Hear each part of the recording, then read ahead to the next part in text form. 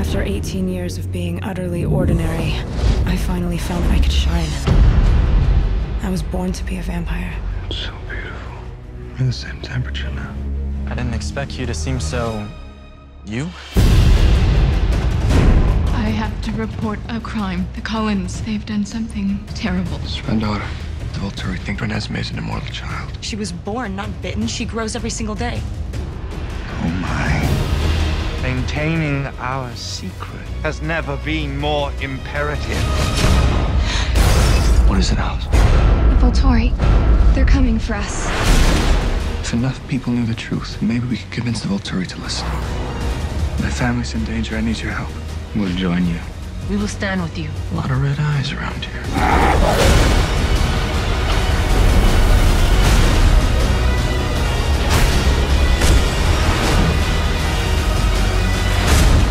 I'll never let anybody hurt you.